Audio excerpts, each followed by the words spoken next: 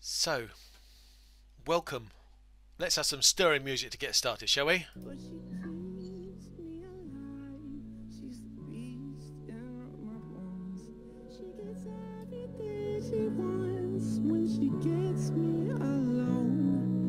It's nothing. She got two little horns and they give me a little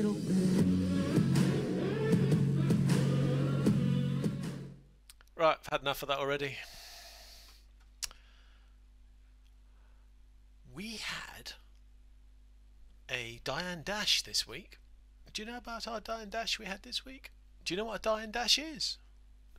Diane Dash is an hour from half twelve to half one on a Thursday during the day. I know it's a new idea.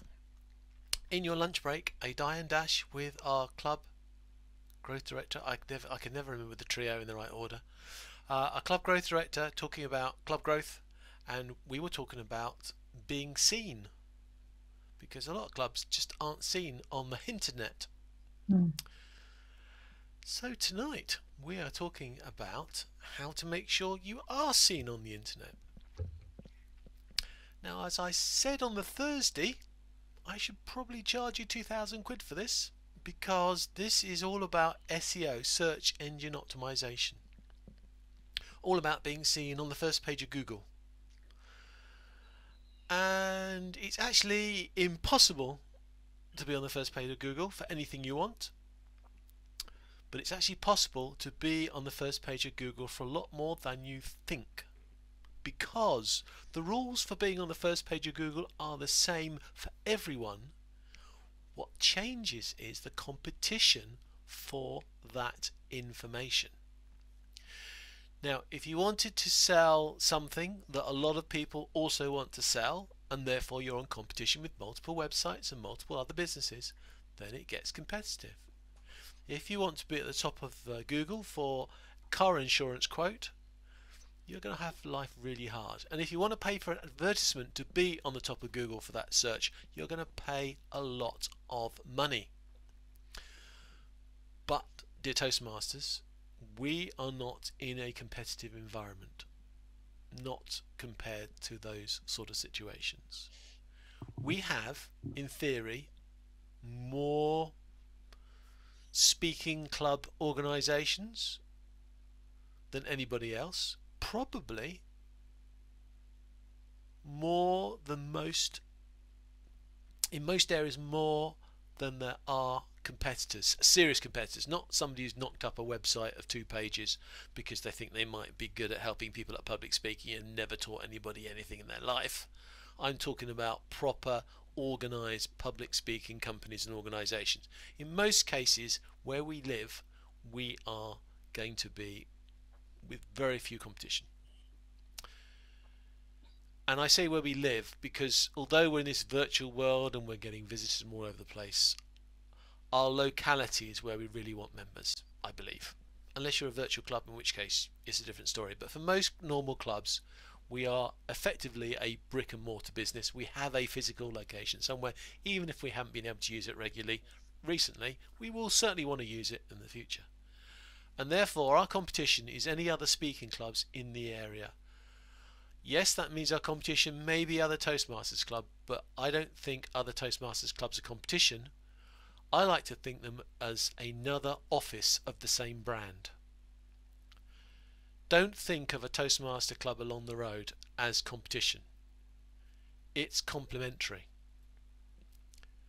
I live seven or eight clubs within 15 20 minutes drive from me. Maybe more actually if I used an electric bike and didn't get held in traffic. I've got lots of clubs local to me and they overlap me but that doesn't matter because it's just another Toastmasters brand promoting itself. So please do not think of other clubs as competition. Think of them as complementary as another office to the same organisation and since we've been online, I think the realization we're all much more in it together has really gelled with a lot of people. So, how do you get to the top of Google? To answer that question, I'm going to tell you a story because we like stories in Toastmasters. And I'm going to tell you about how world has changed. when the internet first turned up and started becoming a thing, which was about 20 plus years ago now, how Google and the other guys know what you did and where you got was to you put some text in some boxes called meta boxes and you put this information in your page of what you were and what keywords you were correct for. And the search engines basically just believed you. And you got listed based on the information you gave.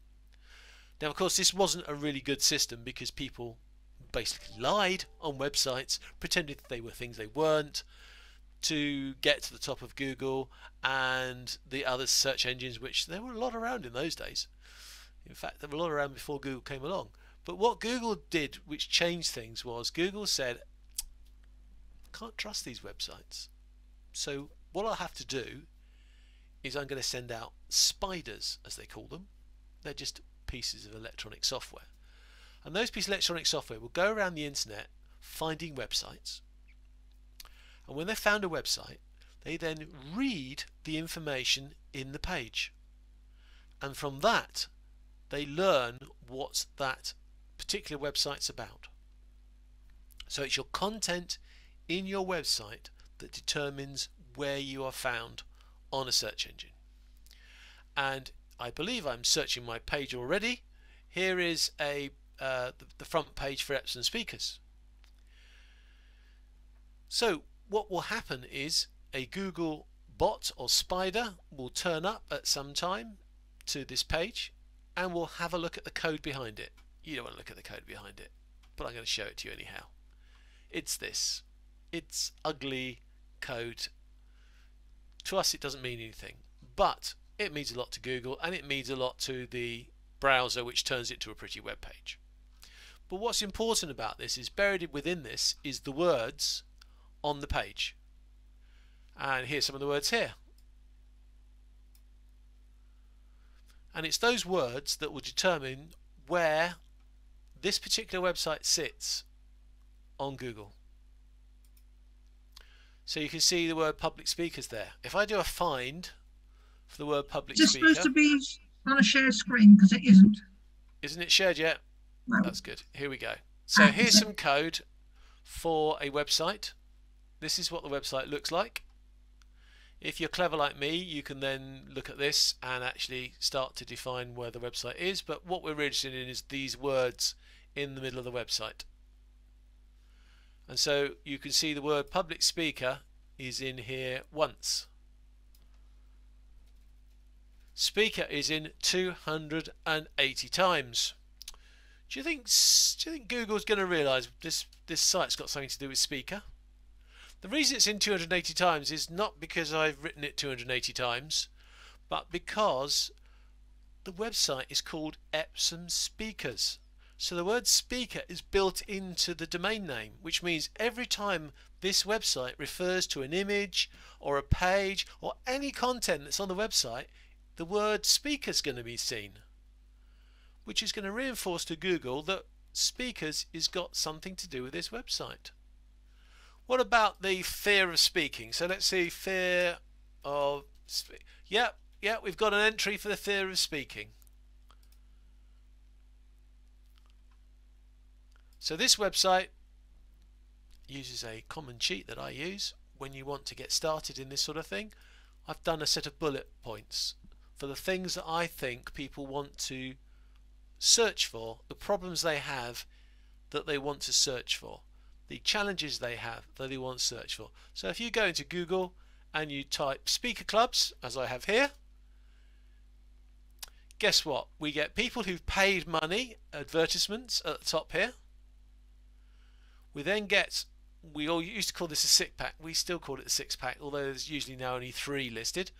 But look, it's taken three speaker clubs bearing in mind it's Google's got a pretty good idea of where I am in the world because it knows where I am. And it's chosen Epsom speakers which is a bit suspicious because that is my local club and there are clubs local to me closer.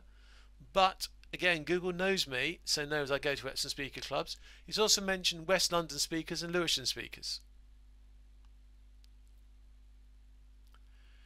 and here we are with a join a speakers club. See the word is there speakers club. So this Facebook entry for the Association of Speakers has picked up there. And then Epsom Speakers is there. Then Toastmasters International is there. Holborn Speakers is there. West London Speakers is there. St Paul's Speakers is there. What are we seeing? Hey we're seeing lots of Toastmasters clubs. Great. But look if I did that and I got those results, I'm first thing I'm going to say is I want speakers clubs near me. So I might either do speakers clubs near me, in which case Google now is being specifically told by me I want clubs near them, and see how it changes. We've got Beckenham speakers, Wimbledon speakers, speakers of Croydon. See, it knows where I am. It's now trying to find people nearer to where I am. The Association of Speakers is still up there. There's now a meetup group for, for speakers. What about if I if I'm in Epsom where our club actually is? Because I'm a bit of a bit of an outsider really. Because I have other Toastmasters clubs closer to me than my own home club. If I put Epsom speakers, look what how it changes now. We've got Epsom Speakers Club at the top. We've got the entry at the right, the um, the uh, details on Epsom Speakers Club. We've got the Facebook page for Epsom Speakers Club. We've got the meetup page for Epsom Speakers Club. We've got the Toastmasters.org entry for Epsom Speakers Club. We've got the Toastmasters.org um, uh, club entry for Epsom Speakers. We've got the club data for Epsom Speakers. We've got a listing on Epsom Youth Council for Epsom Speakers Club.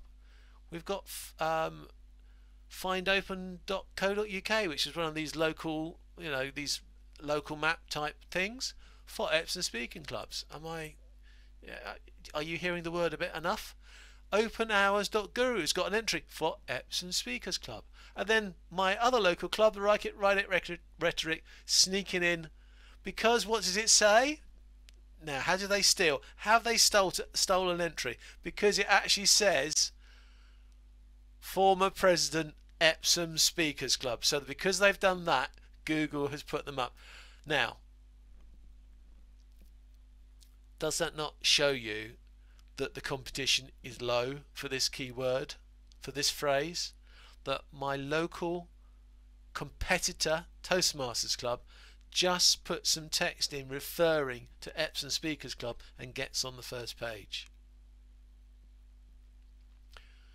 So, I'll say it again. Getting to the top of search engines is really hard. It's cost thousands of pounds and hours of work, but we are not in a competitive world of speakers. There aren't hundreds of speakers against us. It should be quite easy for you to get your speakers club listed on the first page of Google or even do what we've done here. And I promise you, I haven't put that much effort in so far for Epsom speakers to get you listed everywhere. And I said that the reason we got listed was because we talk about that particular challenge in our page. So to be a speaker, we could change it and say, I want to know public speaking in Epsom. Alright, and even if I get it wrong, Google says, Do you want this? Google does a little bit more than just test the, the actual words. The first thing it does is it it checks for spelling mistakes and says, oh, did you mean this? It also looks for synonyms and it has like a word map of all, of all words and it will look for words that are similar in meaning and in context and can list people because they are offering something that's similar but not the same word. The same word, top. Similar words just below. And context because if I put Speakers Club in a web page for Currys PC World, they wouldn't get listed as a Speakers Club. Because all the other words would be about something completely different. They'll be about selling me new television. The page needs to have words in context. So keyword stuffing keywords that have nothing to do with your business is not going to impress Google. They will reject you because they want similar words and the context. So you want to talk about speakers clubs, you want to talk about speaking, you want to talk about all the things that you think people want to learn when they come to your club, leadership, all of that. And it doesn't just have to be the first page. You can use other pages on your site to promote things. In fact, in a way that's better. Mention all the stuff you do on the first page, but on internal pages, take a take a subject like learning, like leadership, and write all about that on a separate page. So Google knows that you're into that, and there's a page of content about it. When you do all your entries for your Facebook, for all your meetups, Eventbrite, where, down my street, up my street, whatever they are, next door, all these sites that you can promote your site on, make sure you don't just say, come to our speakers club. Put some text in there about why you want to come in there for two reasons. Firstly, humans like that sort of information because it backs up why they want to join you. And second, the computer bots like that information because it confirms to them that you are delivering what the keyword that they are looking for on that entry. So put it in your meetup text about Speakers Club. Whatever you're selling as the features of why people should join your Speakers Club, make sure that they have it. If you do an act, um, a Facebook event, make sure the words are in there for a Facebook event. If you've got a Facebook page, make sure the words are in your Facebook page. Do you think I've gone into that enough? I don't. Let's look at how you could do it on a page. Now, I'm going to assume that you're using WordPress because everybody should be using WordPress. Now, if you think Easy Speak is going to get you a list on a listing on Google, then I've got some shock horror news for you. It's not going to because all Easy Speak is, with all due respect to the guys at Easy Speak, all Easy Speak is is a meeting program to organise your meeting. It is not a website. It is not a place where people are going to come and find you on Google. If they find you on Google, they will only find you on Google if you put the direct club name, and then you might get an Easy Speak entry. But you're not going to get Easy Speak entries for other things, and if you do by accident, then it's not going to look very impressive to anyone anyhow, is it? What's what is a a visitor who's never joined a speaking club before going to think if they land on an Easy Speak profile and all it is is a list of all the names of the speeches, you're not selling yourselves. So please get a WordPress site because they're cheap, they're convertible, and I can even set you on up for free.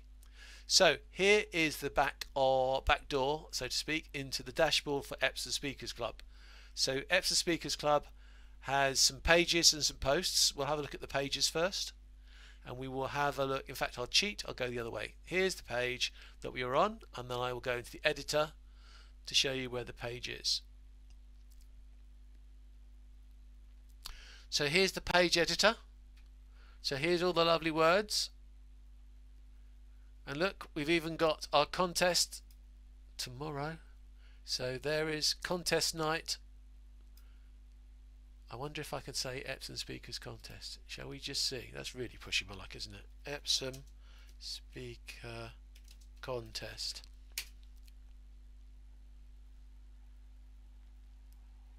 No. And I didn't think it would because it only happens so rarely. Um, oh, I can't even spell Epsom. Yes, I did spell Epsom. You see, it thinks it's Ensign. Epsom. Epsom Speaker Contest. There we are.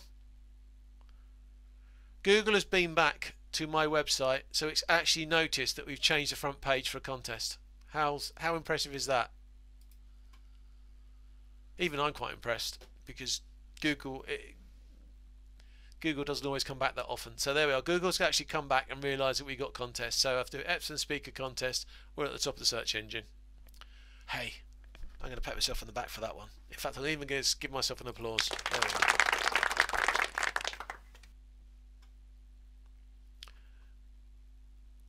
Well that's a more positive way that I can mention this method and that is Google will come back. You can you probably won't be able to persuade it to come back when you want it to. There are ways to do it but you don't really need those. It, it will come back on a irregular basis. And the reg- irregular basis is okay another secret. Google gets bored.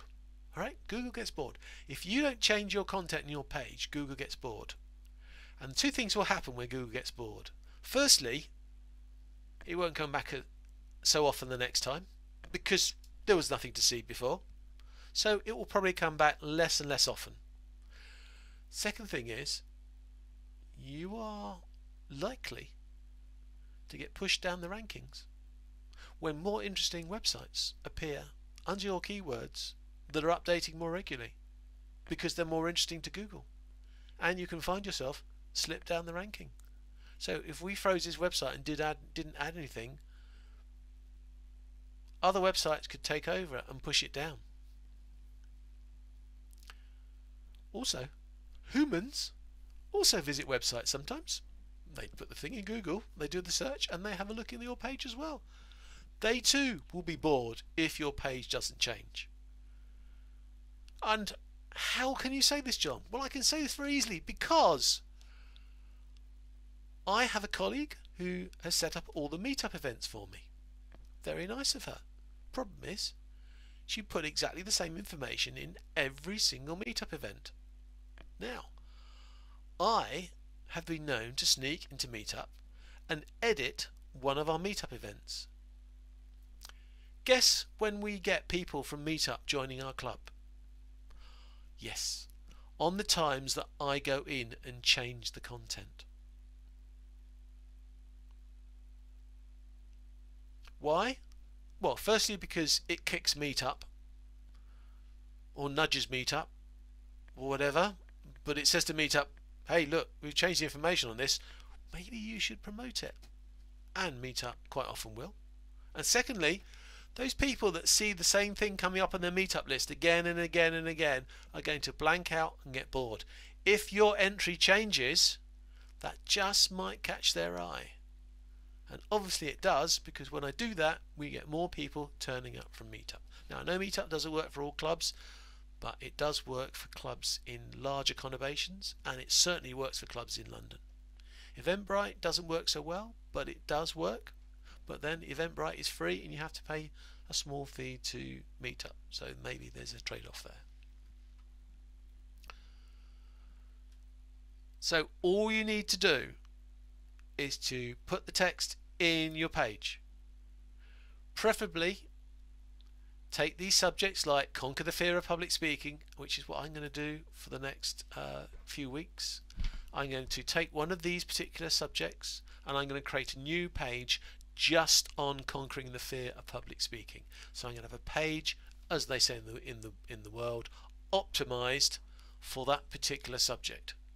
So I'm going to do a nice detailed page on the fear of public speaking, in the hope it won't happen always, but in the hope that if somebody looks for conquering the fear of public speaking and they start asking about local to them and they're local to my club, the chances are they will not only see my website but they will go to that particular page, which will then directly answer their questions because it will be specifically written to persuade people that they can conquer their fear of public speaking at my club.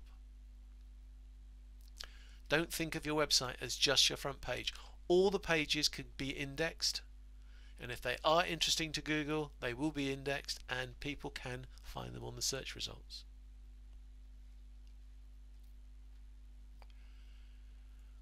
that is as easy or as hard as it is to get listed on Google. It really is much less effort than you think. But as I said, if you want your hair cut,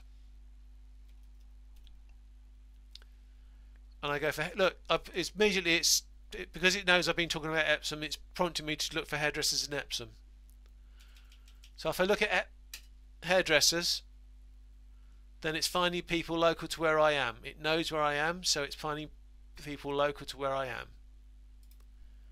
There are no Toastmasters in my town, so it would have to go somewhere else. If I do hairdressers in Epsom, look, the results have changed. Somebody who's got a hairdressing salon in Epsom's paid for an advertisement. Um, Rush Hair Salon don't know why somebody's persuaded them to spend all that money because look, they come up at the top of the search engine anyhow.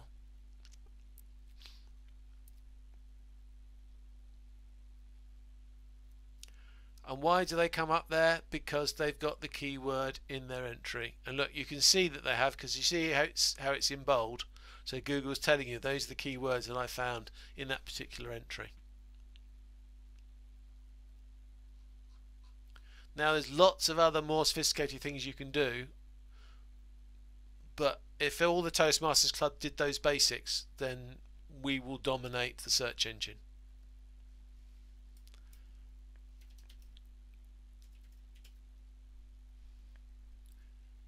Toastmasters near me. Comes up, find a club. Wonderful.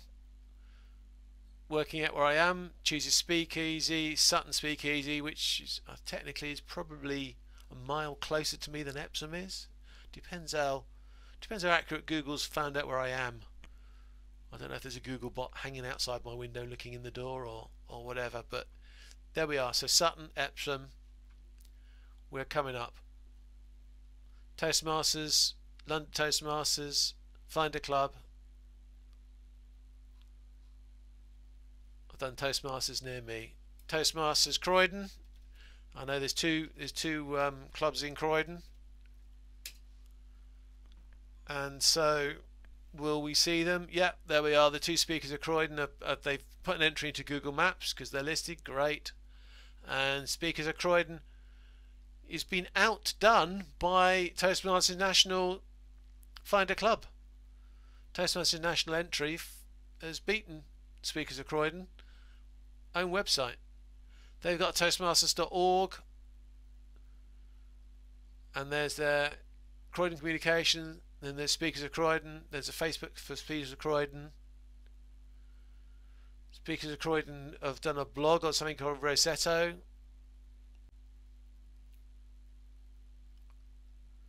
So you see all these entries all coming through, and then wedding Toastmasters in Croydon because there are still a few Toastmasters that do toasts, but we pretty much push them. There we are. See, we've pushed them almost to the bottom of the page. And that is all achieved by putting the words of what you do in your website. As simple as that.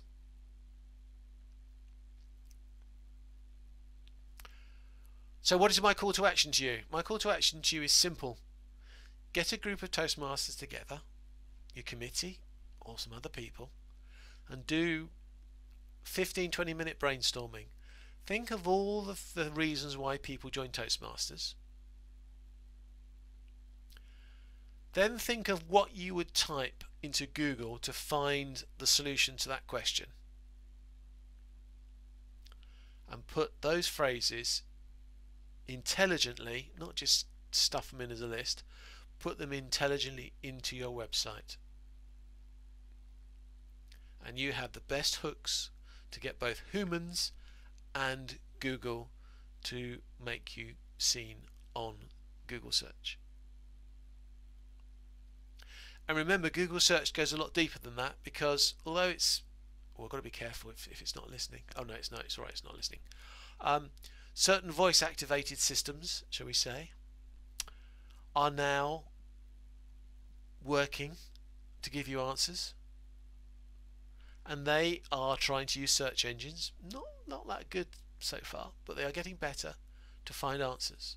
Now, I could go into Google Maps on my phone and have you ever tried to go to Google Maps to find where another Toastmasters club is? I have. I could even try um, Echo. What's the nearest Toastmasters club to me? I found a few nearby ones.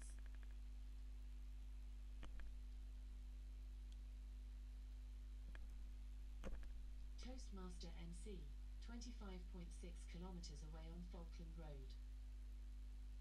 London Toastmaster, 18.4 kilometers away So, on 45. Amazon. 93. Echo, stop. Amazon's been a bit too clever because it's given me lists of real Toastmasters. So it's actually been a bit more clever than Google. Echo, find me a speakers club nearby. I found a few nearby ones. Berkhamsted Speakers Club, Yeah, I think there's a few more clubs closer than 57 kilometres away in Birkenhampstead. 18.2 kilometres away on the ridge. Solihull Speakers I don't think I'm going to go to Solihull Speakers either. I think there's a lot more clubs closer than that. But although it's given me rubbish answers, can you see that that is the way it's going? Because it, it, it didn't give me nothing. It actually understood the question. It's just not very good at getting the answers. Amazon have the problem that they're not Google, whereas Google you can usually get more accurate results like that because Google is, um, you know, Google is built into everything else. So Google Maps. So I just hit the button. Toastmasters Club. Okay, so on Google Maps, I've got Sutton and Croydon and Epsom come up on my map. So just putting, just saying Toastmasters Club into into Google Maps. Speakers Club.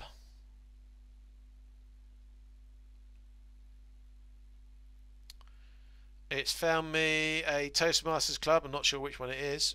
I'd have to go to direction to find out which way it's going to. Now it's going to send me to Epsom.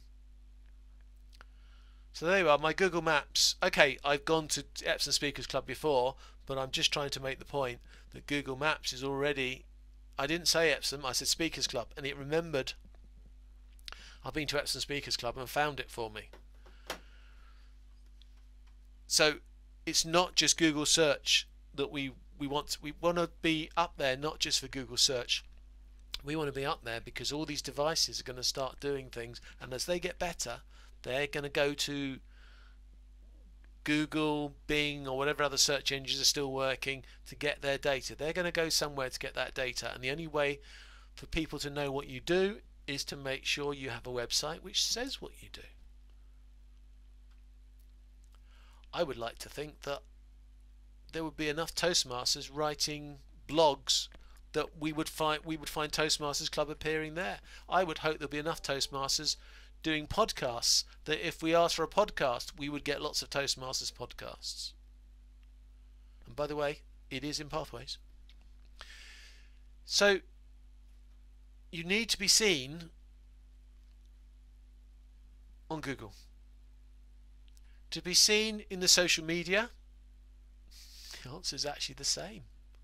Post the same information. The same information you're trying to put into your website to make you seen is the same sort of information you need to post into your social media. So when people are looking in social media, they know what you are. And when you post stories about what you've done, your speeches, we had a fantastic presentation a little bit early talking about pathways and pathway certificates, where to find your pathway certificates.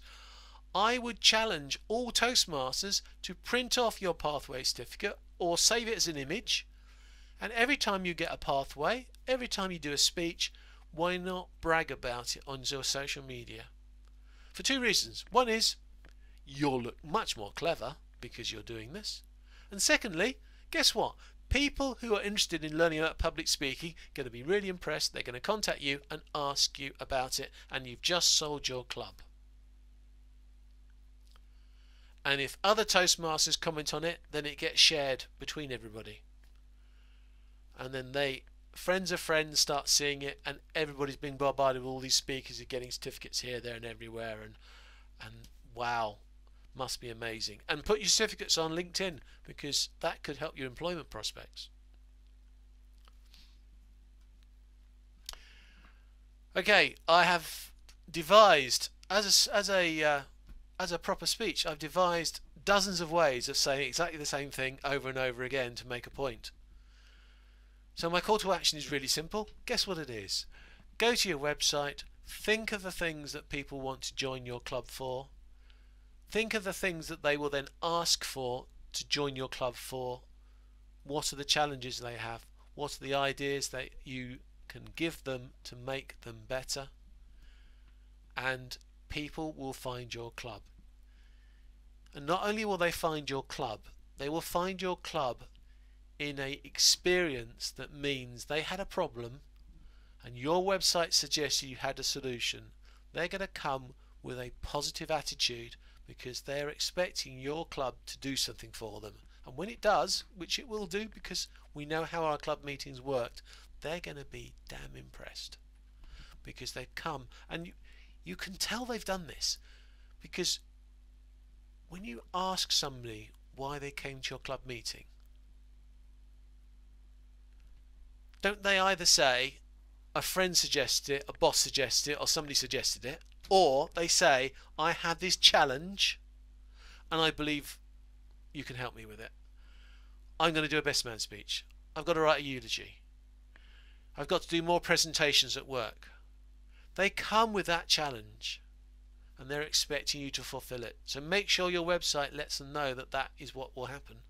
And they come with a positive attitude that you're going to do it for them. And you will beat all the other types of speakers club. And this is where numbers matter. Because if you have local clubs, they're actually going to be a benefit to you. Because if you have local clubs to you and you're all promoting yourselves, just think about what Google's search is going to look like. It's going to be full of Toastmasters clubs. And if that is doesn't make somebody think that maybe a Toastmasters club's a good idea because it's popping up everywhere, I don't know what is. They are not competition to you. They are justifying your existence with their existence. And they are showing that there are, it's not just one Toastmasters club, there are tens of thousands of Toastmasters clubs out there, as we know.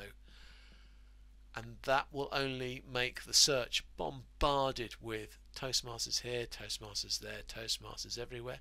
Maybe I should join Toastmasters, it seems quite a popular place.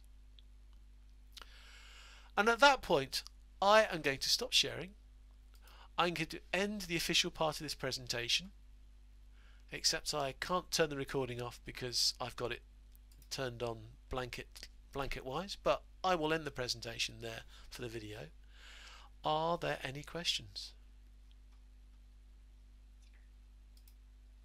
I've just had a thought pop into my head John about yes. the the name Toastmasters this country and Australia is the only two countries where that name doesn't seem to work.